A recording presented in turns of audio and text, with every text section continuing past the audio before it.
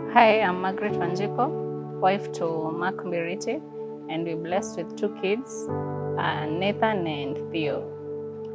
Uh, we actually joined this church in 2019 after we were blessed with our firstborn Nathan. And after attending several months, the dedication classes was introduced to us and we decided to join in the class. They were very impactful to us and that's why even after we got blessed with our second kid, we still attended the dedication class. My role as a parent and especially as a dad, I never really got to pick on what I should do. I just went on by what I see around and what I had experienced in, with my parents. And uh, I think having gone through the dedication classes, I got to experience, I got to, I got to know of a better way through which I can impact my kids. The most impactful thing I brought from the class was my presence there as, as a parent and especially as, as a dad. The first dedication class for firstborn, I got to learn more about my role as a parent to the to, to the to the kids. Like now, I'm more aware that uh, as a parent, I should listen more to the kid. That actually is one of my takeaway. Having been taught, being taught of how to understand children, this also has played a, a role in educating me personally.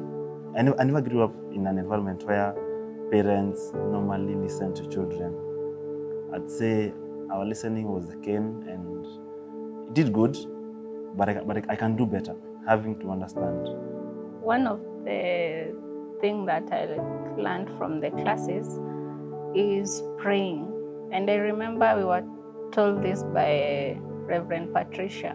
When you pray, even if from since birth, pray loud, aloud, the child to hear. Even if the child will not understand that you're praying, just pray it loud. And I will say, as at now, especially the firstborn, since he's almost four years, he knows when it's time to pray. We all have to keep quiet, we all have to switch off the TV, and he knows before any meal we have to say a prayer. I understand that the, the, the time that I share with this child is of value, both to the child and to me, and it has improved our relationship. There's always room for more knowledge, always room for more information that you never knew. Because I'd say in the, in the first class, yes, we learned a lot and we, and we are grateful for that class. But also in the second class, I, get, I got to learn some newer things that I never did in the first class.